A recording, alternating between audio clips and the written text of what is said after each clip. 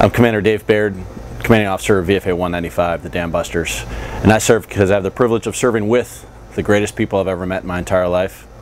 I get to fly $60 million aircraft all over the world, and I get to serve and protect our great nation, and that's why I serve.